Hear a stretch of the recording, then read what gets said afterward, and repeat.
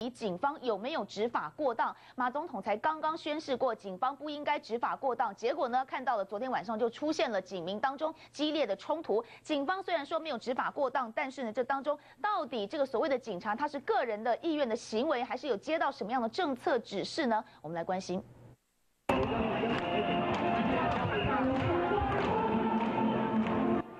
警方进入距离国宾饭店一百六十公尺的唱片行后，原本正在播放的《台湾之歌》突然被关掉。警方这么解释：他的音乐音量太大，那么影响到啊他们的营业跟安宁，所以我就立即到唱片行去做劝导。那么店家也就主动关闭了音乐。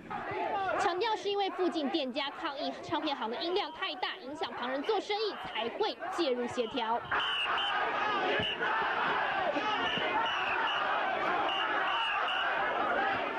而这个关铁门的动作也是各说各话，店家指控是远景要求下才会拉下铁门，但警方说是怕铁门压到人，才会把手放在铁门上。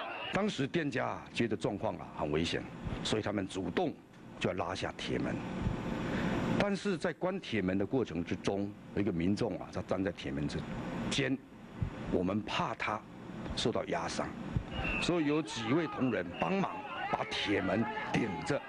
警方的做法引发各界批评，认为是执法过当，但负责当天勤务的分局却表示不会惩处任何人员。以上所说都是真实的，我愿意负法律责任，我们也欢迎。店家或者是其他人士来提到。警方再三强调，在这一次行动当中没有执法过当，但是画面会说话，民众自有公断。追新闻林世宏、蒋新梅台北采访报道。